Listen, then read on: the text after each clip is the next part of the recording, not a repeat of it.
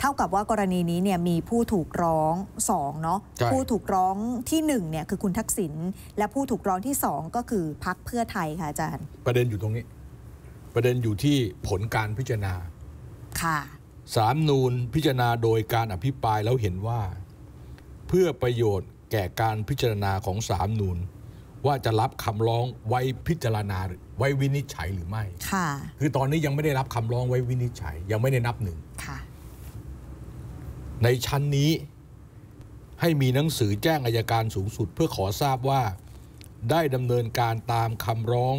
ของผู้ร้องไปแล้วอย่างไร นั่นประเด็นที่หนึ่งค่ะประเด็นที่สอง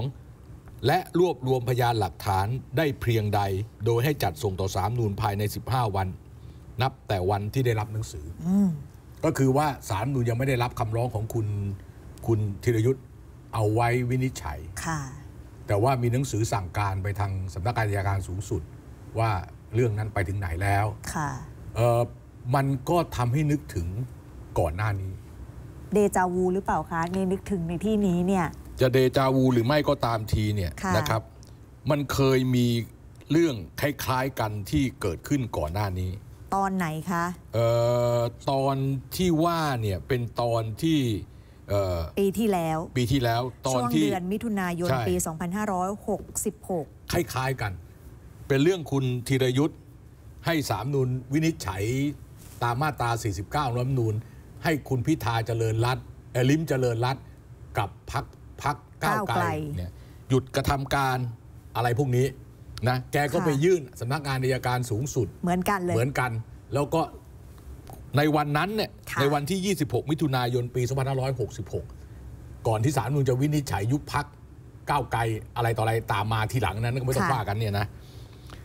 ศาลรัฐธรรมนูญมีมติให้สอบถามอายการสูงสุดว่ามีคำสั่งรับ หรือไม่ดำเนินการตามที่ร้องขออืมหากมีคำสั่งรับคำร้องขอดำเนินการแล้วอย่างไร และผลการดำเนินการเป็นอย่างไร ให้แจ้งต่อสารนูนทราบภายใน 15 วัน คล้ายๆ กันคล้ายแต่ว่าเลยข้อความอาจจะไม่ตรงกันค่ะสักทีเดียวนะคนก็เลยเอางี้ก่อน คือไม่ว่า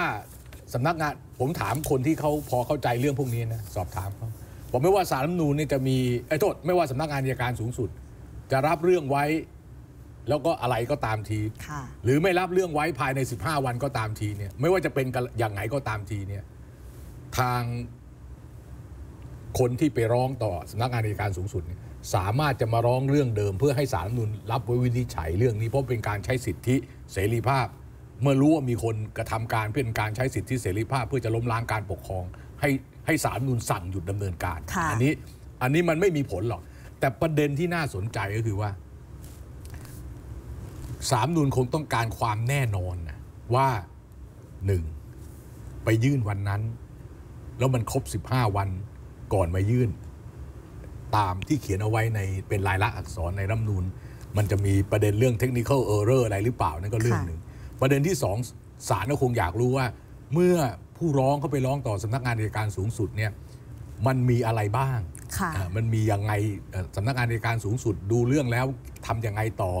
แล้วไปหาพยานหลักฐานอะไรเพิ่มเติม คือศาลไม่อยากทำซ้ำอะค่ะนะก็ถ้าเกิดถ้าเกิดสำนักงานอัยการสูงสุดทำอะไรไป ศาลก็จะได้รับช่วงต่อเนื่อง มันก็จะเป็นเรื่องของเอกสารหลักฐาน ที่จะมาประกอบในการ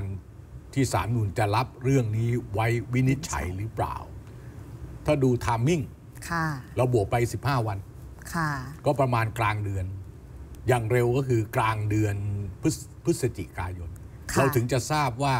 ตุลาการสามนูนจะรับเรื่องนี้ไว้วินิจฉัยหรือเปล่าอ่าอันนี้ถ้าเกิดว่ารับไว้วินิจฉัยก็ ต้องดูต่อว่าวินผลการวินิจฉัยเป็นยังไง แต่ยังไม่มีเรื่องยุบพักเพื่อไทยนะ ยังไม่มีเรื่องอะไรต่ออะไรมันยังไม่มี เพราะอันนี้แต่ไปแค่ว่าให้หยุดให้การหยุดกระทำแต่ว่าให้ช่ไมหยุดเนี่ยมันก็เป็นฐานไงเป็นฐานไปไหนเป็นฐานอะว่าในแง่ว่า เอ้ย มันผิดเว้ยค่ะเออมันมีประเด็นที่ว่ามันทำแล้วไม่ถูกต้องมศาลถึงให้หยุดไงค่ะแล้วก็เอาคำนั้นน่ะไปว่าต่อที่จะไปยุบพักยุบแพ็กว่ากันต่อเรื่องก็จะไปถึงกกตเอออะไรประมาณนั้นทก็รงไปเดียวกับพักก้าวไกลใช่ก่อนหน้าใช่ใช่นี้เรื่องก็จะอ้าวเฮ้ยกกตคุณก็ต้องไปดำเนินการต่อ